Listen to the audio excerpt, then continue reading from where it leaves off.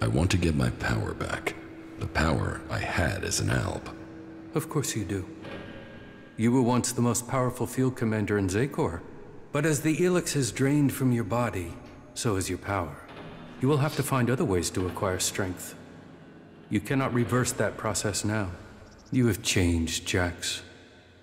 You must accept that change. The Free People face destruction at the hands of the Albs. And they are now your only chance of survival. You must learn their skills and perfect them if you or they are to survive. I think your fate is now tied to theirs. I came to enlist your help, not that of the Free People. And I am helping you. Now you must do your part. What you mean is you don't trust me. No.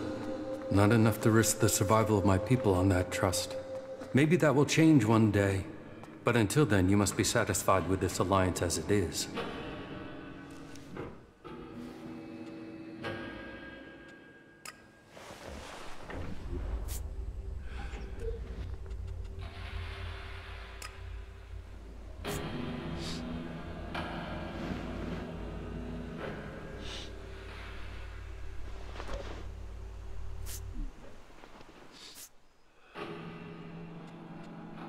I met some of your people in Edan. Yes, Nezol and his men. I also know what happened.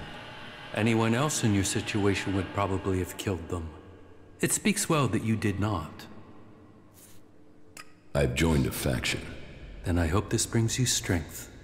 The cleric's technology is comparable to ours, and they are fully committed to stopping Xacor's victory. That connects them to us. But they fear the Albs since we split from them, and that means they have no trust for separatists. Do you have anything else to report? The equipment I have should be good enough to take on the Albs in Edan. I knew you would find the tools you needed to survive. Do you have anything else to report?